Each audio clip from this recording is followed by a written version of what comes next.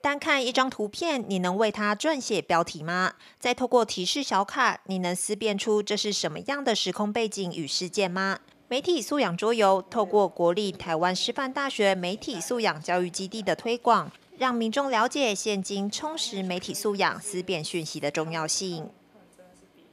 呃，这个桌游它的设计其实是模拟一个新闻台的记者，他们去跑新闻的时候，他们可能会针对一个事件，呃，去做下标。但是这个下标的同时，有时候我们在呃，第一事件，呃，案发现场的第一第一时间，其实我们看到的新闻未必是全面的、跟完整的。那我们也希望透过这个桌游呢，去让呃。小朋友啊，或者是让民众去了解到，我们有时候很很常在呃现实生活中，我们很常会收到一些网络的讯息，或者是一些赖的讯息啊之类的。像可能我的长辈可能就会很常发一些赖赖的新闻给我，然后但它其实是内容农场这样子。那我们希望透过这个桌游呢，就是让大家去呃更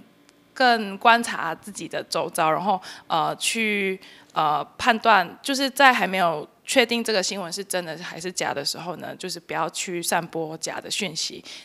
另外，这套桌游公平无私，透过介绍公用频道的特性与禁用性，让民众从而了解公用频道，增加使用频率与内容多元性。就比如说我发贴文在一般频道的话，呃，我们的那个热度就会很高嘛。但是呢，就是我们在玩游戏的过程中呢，我们可能会遇到一些新三社的事件，那可能就会被被惩罚这样子，或者是我可能就是会功能牌里面可能就会有那种呃降低热。热量就是我我会去做一些事情去陷害别人，然后降低它的热度这样子。那如果呃我发呃公用频道的话呢，其实公用频道是不能就是就是一一样嘛，就是不能发新三色这样子嘛。但是呃公用频道呢就不会有像是什么降低你的流量啊什么之类的这种操作这样子，因为公用频道就是让大家鼓励大家去使用，所以他就不能去害别人这样子。对，就是不能像 YouTube 可能会出现黄标啊什么这样子，所以。我们会希望透过这个游戏，让大家多去了解跟去禁用呃我们的呃公用频道。就是听讲座，可能我听三分钟我就无聊了这样子。那如果透过桌游，就是呃老师们讲的知识，他们吸收之外，然后我们也可以透过桌游让他们寓教于乐，然后可以让他们透过这个桌游引发他们的一些兴趣，然后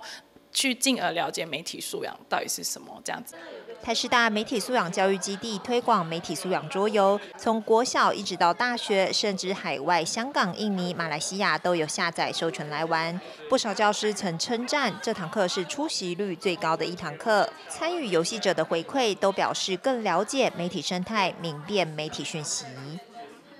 记者温宇君台北报道。